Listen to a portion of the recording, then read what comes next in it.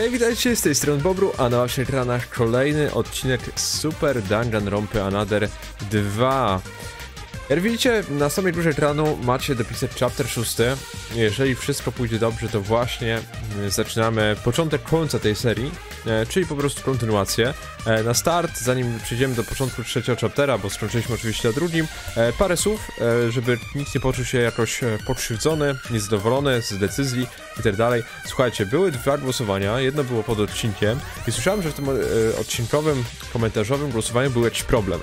Zgadzam się, być może komuś się tam nie wyświetlało coś. E, oczywiście zdarza się. Na pewno już takiej formy nie będę przyjmował, przynajmniej inaczej ją przemyślę. Już parę fajnych propozycji dostałem. E, no ale zrobiłem również drugie głosowanie na karcie społeczności. Tam również wybrała opcję kontynuacji.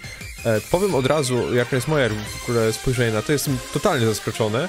Em, nie spodziewałem się, że będziecie zainteresowani taką, taką kontynuacją. E, No i co za tym idzie, musimy troszkę nastawić się na to, że no przez najbliższy czas e, często pytacie mnie e, w komentarzach e, Bobru, kiedy Brave Dungeon Rompa, Bobru, kiedy e, Redemption Dungeon Rompa, Bobru, kiedy to, kiedy tamto i pozostałe te fangame, no słuchajcie, e, musicie zdawać sobie sprawę, że decydując się na, e, na to, no prawdopodobnie przez najbliższe z moim tempem, no podejrzewam, że przez najbliższe jakieś 3-4 miesiące będziemy. To będzie seria poboczna z Rompy.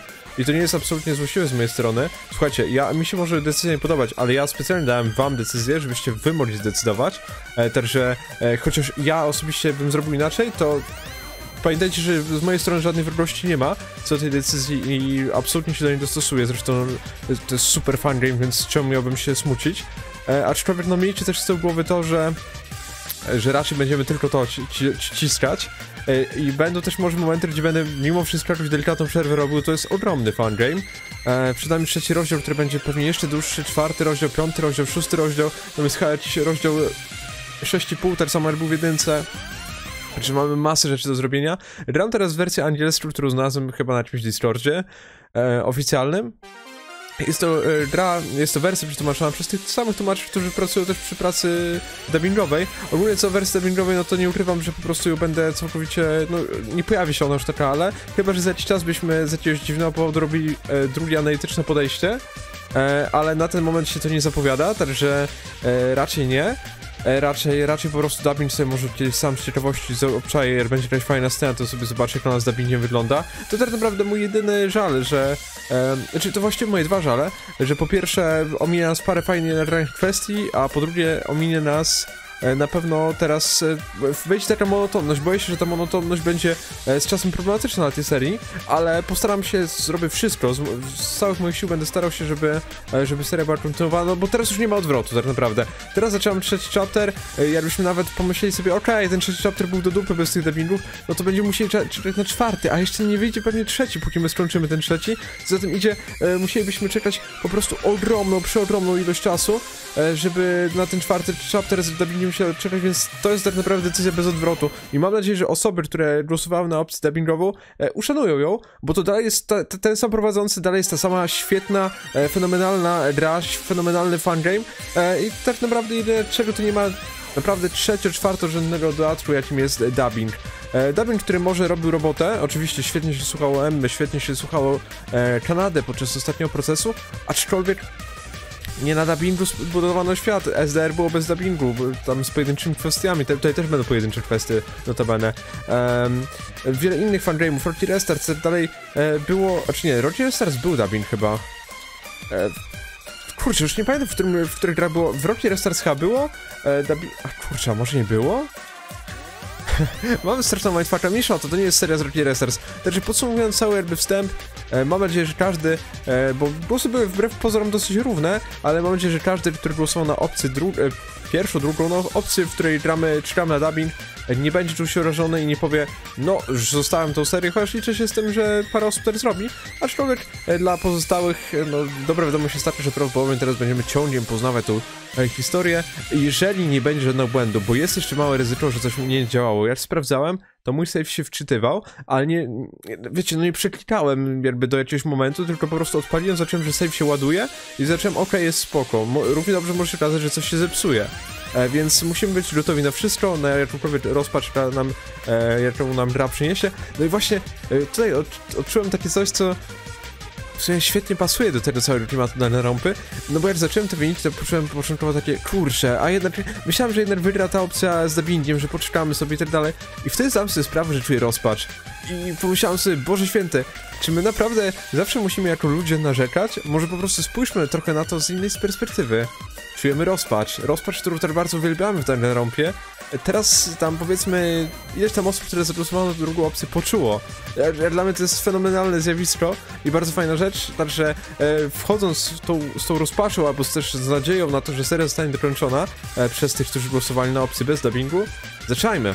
Zaczynajmy, ja już tutaj sobie tylko klikam i zobaczmy, czy wszystko działa. No jak widzicie, savey są, wszystkie, wszystkie moje 16 save'ów, jest tutaj w ogóle więcej miejsc.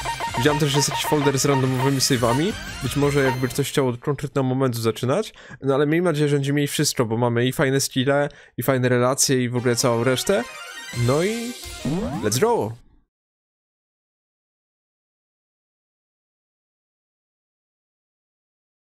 Welcome to Void Theater, czyli mamy znowu voidowy teatrzyk. O, jest tu trochę nudno samemu. Chcę coś zrobić, ale nie mogę nawet się ruszyć, kiedy jestem w takim stanie. To musi być kara za popełnienie tak niewybaczalnej zbrodni. Mam nadzieję, że pozostali nie pójdą moim śladem. co?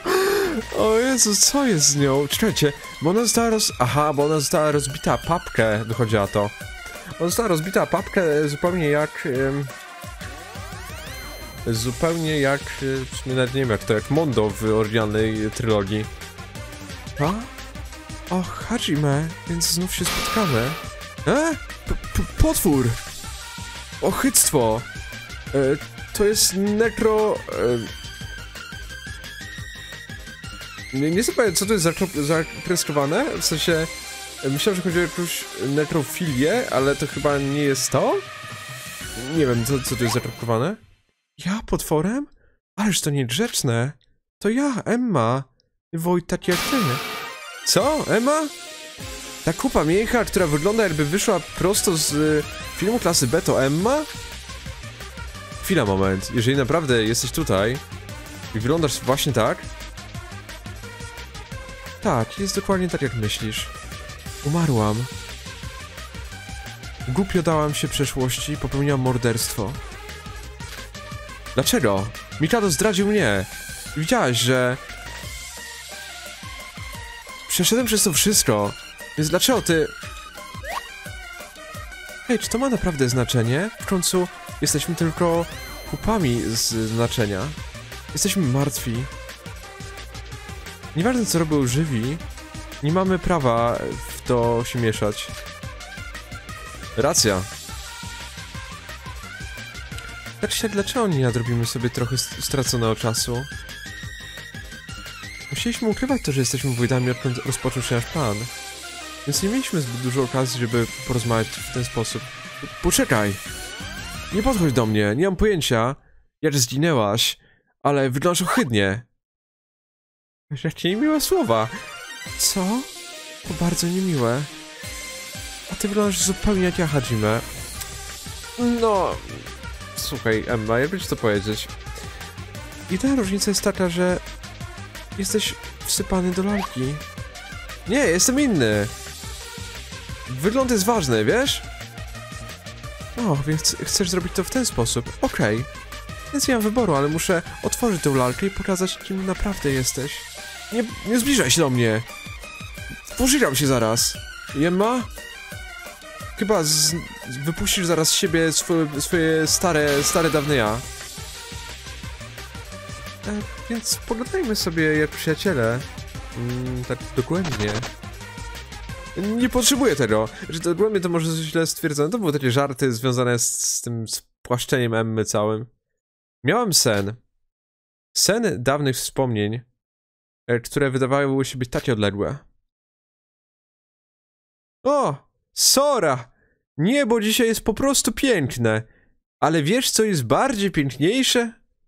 Prawdziwe piękno Sory. Ha, ha, ha, ha, ha. O Jezu, o Jezu. O, perfekcyjne wyczucie czasu. Eee, pij tego, pij to, co tutaj nalałem. Twoje ciało podziękuję mi później.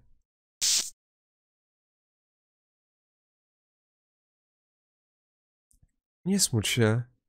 W końcu się stąd wydostaniemy. Dam z siebie wszystko.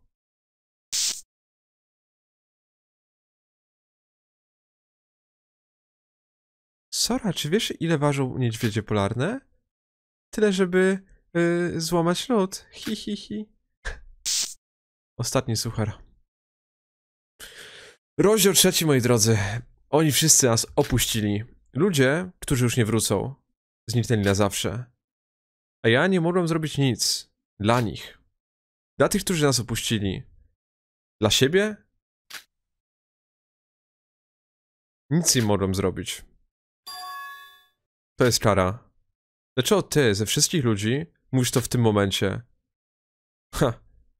Skoro mowa o hipokrytach. Fu, fu. Kara?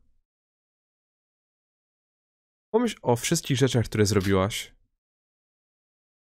Czy ty naprawdę myślisz, że jesteś warta wspominania o takiej... Wspominania w ogóle o nadziei, mówienia o nadziei? Jest oficjalnie siódma rano. Pobudeczka. Mam nadzieję, że będziecie mieli pełen...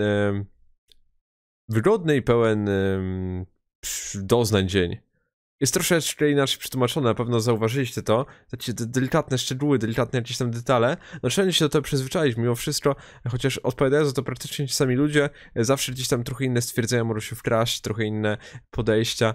E, swoją drogą, no z racji, ta, iż tak jesteśmy poniekąd skazani teraz na długą, długą przygodę z SDRA 2, e, będę wykorzystywał to do granic możliwości. E, no i tutaj pierwszy mój przystanek rozkminowy na dzisiaj te, to, co przed chwilą słyszeliśmy, no to podejrzewam, że to była Sora, taka walcząca z wewnętrznym ja. E, no i jestem ciekaw w sumie tej sceny z Sorą, e, bo teraz zacząłem tak sobie myśleć o, o tym, jak to wyglądało w jedynce e, i dochodzę do wniosku, że no tutaj bardzo mocno gra implikuje, że coś jest jakby więcej, jakby stojące za tą postacią, no bo Sora ewidentnie wygląda jakby gadała z kimś zupełnie jak Yuki gadał z powiedzmy Utsuro, kiedy, mm, kiedy już ta granica pomiędzy jednym a drugim zaczęła się zacierać, e, kiedy ta prawdziwa tożsamość mm, geniusza, jakby patrzeć, e, wyszła na jaw w pierwszej części. No i teraz zacząłem się zastanawiać, czy to nie jest zbyt oczywiste, bo zawsze człowiek w takim momencie szuka takiego haczyku, że a ja coś tutaj jest załatwiutko, załatwiutko i tak próbuje tego haczyka znaleźć, gdzieś go wyciągnąć i zrozumieć. No tutaj nie wiem, czy nie jestem po prostu pewien, czy czy to może być takie proste? Czy to naprawdę, o po prostu rzeczywiście Sora jest kimś innym, Sora ma w sobie jakąś tam ukrytą osobowość, czy to jest Akane, którą podejrzewałem wcześniej, czy może ktoś jeszcze zupełnie inny? O, dodatkowo, z racji, iż skończyliśmy kolejny proces, monostatek wyruszy. Monostatek będzie podróżował na wyspę numer 3. Będziemy płynąć mniej więcej tyle, co ostatnio. Ok, wyspa numer 3, czyli znowu będzie dużo statkowania. Jestem ciekaw, jaki pomysł na statkowanie teraz ma twórca, bo jeżeli to będą znowu free time eventy, to realnie skończy, skończy nam się postacie. Realnie. Więc zapamiętajcie. Nie róbcie niczego niebezpiecznego, co by sprawiło, że wypadniecie za łódź. Życzę wam spokojnego oraz szczęśliwego żeglowania. Dziękujemy. Miałem bardzo startling. No, warto sobie tłumaczyć takie słowa mimo wszystko. Startling oznacza zaskakujący. Albo wstrząsający. Chyba wstrząsający tutaj by pasował delikatnie lepiej. Sen. Uczniowie, którzy zginęli, wrócili do mnie jeden za drugim. A potem, chociaż nie pamiętam dokładnie, chyba słyszałam czyjś głos. A? Dlaczego moja twarz jest taka mokra? Co to? Czy to łzy? Interesujące. Czy ja teraz płaczę? Co to jest? Nie czuję się ani trochę smutna. Wciąż łzy spadają z mojej twarzy. Czy to wszystko przez moich martwych przyjaciół? Okej, okay, nie mam pojęcia co to może oznaczać, że ona płacze. Och, teraz kiedy o tym myślę, łódź już y, płynie. Ja powinnam coś na początku zjeść. Okej, okay, czy my właściwie... Te, zastanawiam się troszeczkę nad przeszukiwaniem rzeczy. I jestem ciekaw, bo my nie mamy haskiller, który nam pokazuje, gdzie są monetki. Czy mamy? Już nie pamiętam, jak to było z tymi skillami dokładnie. E, no teraz na pewno do skill nam doszły skille Emmy, które w sumie mieliśmy i skille Krukorów, których nie mieliśmy. E, skill Krukora ci może być ciekawy. O? A, co to za dźwięk? To brzmi jak młotek. Jakieś młotkowanie.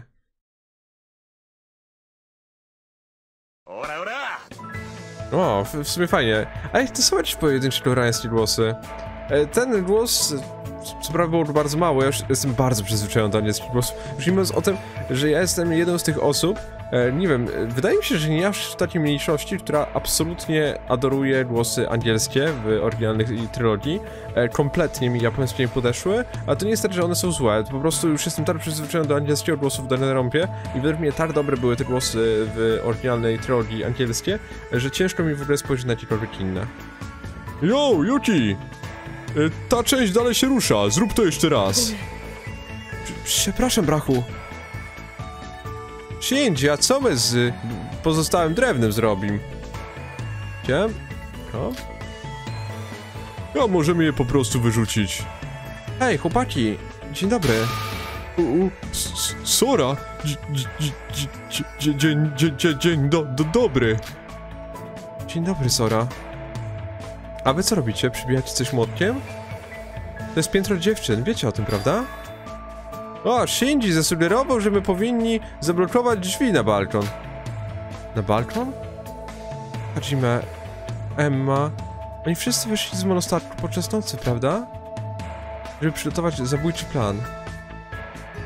Więc my pomyśleli, że my je zablokujemy, zaciepimy deskami na amen i nikt już nie wyjdzie. To ma sens, biorąc pod uwagę, że balkon był użyty po przez Emmę podczas morderstwa. To byłoby e, niebezpieczne, żeby tak zostawiać to w ten sposób. Ty, tak. I... Tak sobie pomyślałem, że wiem jak. Zrobić to, żeby ludzie nie wychodzili w nocy z, ze statku. P powiem na śniadaniu. Sora, idź przodem. Dorujmy cię, jak skończymy. Nie, pomogę. Tak będzie szybciej. Nie, nie, nie, nie, nie. Nie ma takiej potrzeby. My już prawie skończyliśmy. Możesz zostawić ciężką pracę nam. W porządku, jestem dosyć silna. Przynajmniej w porównaniu z Yukim. Uhu. Rozumiem Shobaja, rozumiem Mikado, ale biednego Yukiego tak strzela z takimi słowami? Okej, okay. Poddajemy się, poddajemy. Proszę, pomóż nam. Pomogłam Shinjiemu Yukiemu oraz Terui zablokować drzwi na balkon i nasza czwórka poszła wspólnie do jadalni. Okej, okay. chyba nie ma wszystkich. Setsuki na przykład nie widzę. W ogóle ciekawa sprawa e, i tak się zastanawiam cały czas z kim ona gadała. Jestem prawie pewien, że gadała nas Voidem, ale w ogóle Voidy, nie wiem, im dalej próbuję to jakoś rozkminić i zrozumieć, tym bardziej mam wielki mindfuck, bo naprawdę coraz bardziej zacząłem się zastanawiać, kto do cholery tym Voidami może być. Znaczy trafiliśmy na pewno Voida Emmy, ale no nie ukrywajmy, to była dosyć prosta sprawa do trafienia. Pozostałe dwa Voidy, które trafiłem to Iroha i Nikkei, ale jak teraz myślę, to nie, nie za bardzo pasuje mi, znaczy ta Iroha, nie wiem czy ona mi pasuje jako ta osoba Zastanawiam się z kimś Tetsuka może jest blisko ewentualnie, ale nie przychodzi mi taki bardzo charakterystyczny na, na myśl. Ona jest... I po prostu jest bardziej pełno wszędzie, niż e, jest jakoś tak mocno e, związana z jedną osobą. Może trochę z Jeruko, ale nie wiem czy... W sensie patrzę na Irohę, nie jestem pewien, czy mogę uwierzyć, że Jeruko byłaby. W sensie Iroha, Nikkei, Yoruko, e, to, to są takie imiona, nazwiska, które po prostu już Setsuke przecież dużo osób podejrzewa. I ja też, znaczy no teraz po tym co słyszeliśmy to chyba Setsuke nie może być Voidem takim czystym, e, w sensie ona może być jakoś związana z Voidami, być może im jakoś pomagać, być może znać tożsamość jedną, znaczy no na pewno znać tożsamość jedną z Voidów, ale hmm. strasznie już rozkminiane to dla mnie jest na razie zostawiam, znaczy powiem tak, wydaje mi się, że to nie była Iroha w tamtej scenie, ale nie, nie jestem pewien na kogo stawiać. No chyba pomiędzy Yoruko a Nikajem jest jeszcze jakaś taka e, szansa na to, że ktoś z nich mógł to zrobić, ale, ale nie wiem, to, to jest strasznie nawet nie tyle co ryzykowne, tylko takie... Hmm, ciężkie do, do przewidzenia. Oczywiście to nie jest pytanie do was. Niektórzy często zadają takie, czy głośno myślę, to czuję jakąś potrzebę, żeby odpisać mi, wytłumaczyć. Słuchajcie, nie tłumaczcie mi, bo to są spoilery. E, ja po prostu głośno myślę, bo, bo chyba lubicie głośno myślę e, i staram się wam przedstawiać, jak ja na to patrzę. Dzień dobry wszystkim. Och, Sora, spóźniliście się. Teruya, Shinji, Yuki. Też tu, je... e, też tu jesteś. Dlaczego się spóźniliście? Jedzenie robi się zimne. Mm. Dlaczego wszyscy dzisiaj się spóźnili? O, przepraszamy. My po prostu robili to, co Shinji nam kazał. Zasugerował. Ja, co masz na myśli mówiąc wszyscy? Widzicie, mamy dzisiaj sporo pustych krzeseł. O, widzę, nie ma tej Setsuki, nie ma też Nikea, okej. Okay. W sensie, kurczę, no... no podejrzanie to wygląda. Niczej zapomnijcie o nim. Nie ma szans. Co masz na myśli? Powinniśmy go teraz zostawić? Ej, kurde, dużo mają tych głosów, w sensie ja myślałem... W SDR wydaje mi się, że nie było takich przebitych głosowych e, koreańskich. E, one były dosłownie na procesach te, w sytuacji typu No, that's wrong, tam wiecie, te wszystkie takie e, trzyki procesowe czy coś w tym stylu, a tutaj normalnie są... Obecne? Oczywiście, czy wy wiecie, co on powiedział zanim przyszliście? Nigdy nie dogadam się z takimi jak wy od teraz i nie spodziew... I mam nadzieję, że będziecie traktować mnie tak samo. Nani, Nani, Tandera! Co? O Jezu Boże Święty, co on na wymyślał? On powiedział wczoraj, że od teraz będzie pracował solo. Nawet jeśli nie tylko on się boi. My wszyscy nie wiemy, kim są Wojdy i wciąż yy, próbujemy się trzymać razem. Czego, rezulta czego rezultatem było więcej ofiar? Co? N nie, nie o to mi... ja... Jestem po prostu trochę zdenerwowany. Hej, Yuki, ty... Hmm. Powinien, powinniście przestać i na razie usiąść. Czekaliśmy na was, więc może najpierw zjemy. Nie ma tej Setsuki, ale nie możemy czekać na zawsze, racja? Ta? Słuchajcie, Mikado zrobił świetną robotę, jeżeli chodzi o jedzenie, więc jedzmy. Okej, okay, to bardzo mądre wyciszenie sytuacji, szczególnie już się zaczęło ciskać Edgardą. Nikkei macie taki wewnętrzny talent, że on nawet nie tyle co on od razu jest zrzeszony, tylko jest zrzeszony temat nawet kiedy pojawi się tylko jego imię, go nawet nie ma w sali. Więc dlaczego się spóźniliście? Mm, na prośbę Shinjiro blokowaliśmy drzwi balkonowe na, na trzecim piętrze. Balkon? Ale dlaczego? On powiedział, że to dwójka zabójców y, z poprzednich procesów to się wyśliznęła ze statku nocą i dlatego on to zablokował. Jeżeli chcielibyśmy to zatrzymać, musielibyśmy zablokować też frontową bramę. E, czy możemy na chwilę się pochylić nad tematem, który był poruszany w komentarzach w sumie chyba nawet nie raz? Jak grupa skrzętnie i bardzo um, naiwnie ignoruje wiecznie to, co się dzieje z Kanadę? W sensie... Czy oni mają zaniki pamięci krótkotrwałej i długotrwałej naraz i po prostu nie pamiętają, co ona robiła na pierwszym i drugim procesie? W sensie na pierwszym może nie tyle, że nie było przypału, ale była jeszcze taka w jakichś tam granicach rozsądku, ale na drugim ona naprawdę poleciała. A teraz oni kompletnie nie zwracają na to uwagi.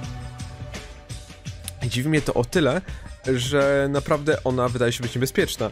I brakuje mi w zabójczych grach takich środków ostrożności, które wcale nie muszą oznaczać, że nie wiem, że morderstwa nie będzie, ale bardziej chodzi o to, że to jest osoba, która wykazuje jakieś sadystyczne, masochistyczne zapędy, e, bardzo się robi agresywna podczas procesów, robi się piekielnie inteligentna, nie wiem, czy oni naprawdę nie widzą, czy udają, e, i nie ma jakichś takich chociaż nawet cienia obawy, że ona może coś zrobić, czy też bardzo szybkim, szybko mydli im oczy tym swoim takim o Jezu, Jezu, zablokowali też frontową bramę. Mm.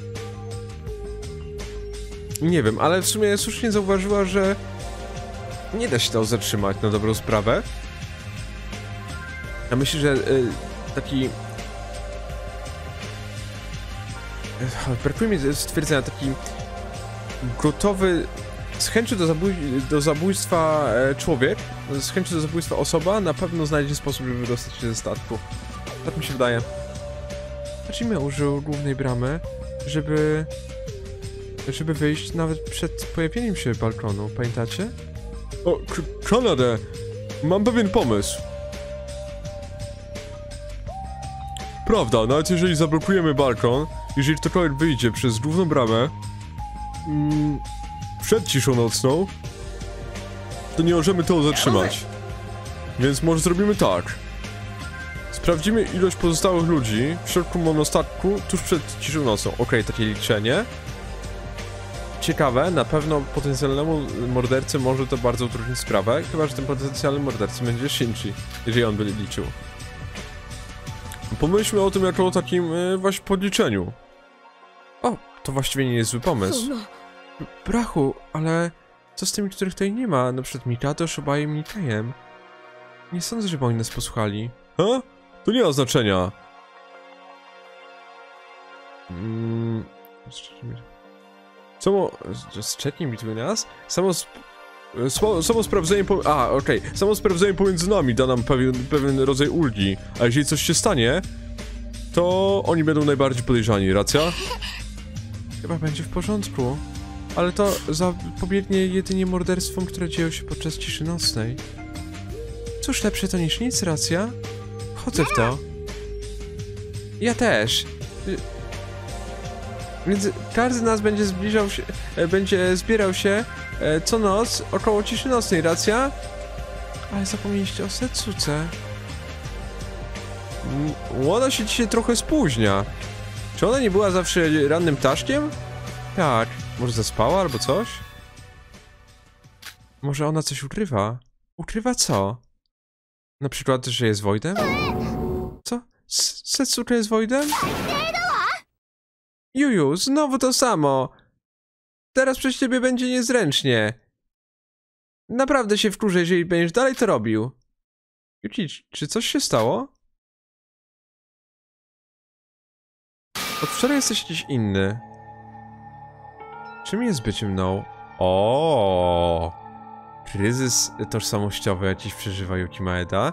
Bardzo mi się podobała teoria. Nie wiem, czy nie na tyle bardzo, że aż zepsuła mi trochę jakby doświadczenie, bo e, padła w komentarzach taka teoria, że ten Yuki Maeda to być może jest realnie Yuki Maeda, którego znamy, e, którego nie znamy, e, a ten Yuki Maeda z jedynki, który był protagonistą, okazał się być Utsuro, to rzeczywiście był Utsuro przez cały ten czas, który po prostu miał uśpione wspomnienia i przybrał trochę wygląd, trochę zaimitował wygląd Yukiego. Ja wiem, że zaraz pytacie, ale jakim cudem przybrał wygląd Yukiego? Przecież, no co, malował się co ranem? E, nie wiem, nakładał jakąś maskę? Nie, no przypomnijcie sobie chociażby impostera. Wiem, że imposter miał e, taki talent, żeby się przebierać, żeby ludzie jakby wierzyli, że to jest ta postać. No ja, ja na przykład wierzyłem na początku, że to jest Berkuja, taki bardzo zaniedbany.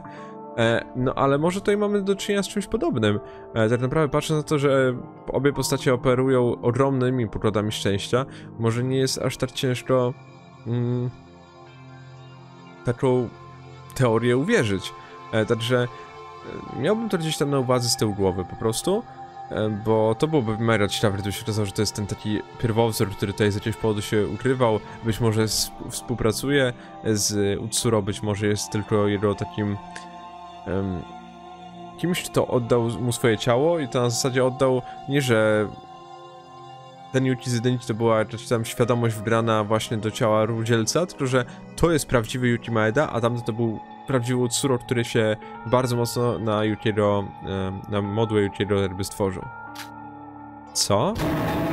Juju! Chwila, Hi Hibiki! Ja rozumiem jak on się czuje.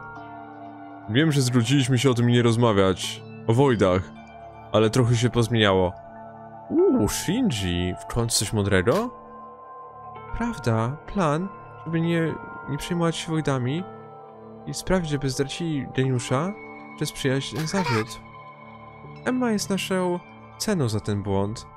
została zdradzona przez Mikado i otworzyła się przed nami. Ona była na straju i nie miała wyboru. Musiała dalej em, podążać za misją, No. woj, y, za wojdową misją. Shinji, ale czy ty wczoraj nie powiedziesz, że ty jakiegoś innego plana masz, czy co? Tak jak powiedziała Kanadę. Rozumiem, że Wojdy nie mogą się z tego wycofać. Ale oni muszą się do nas... Mm.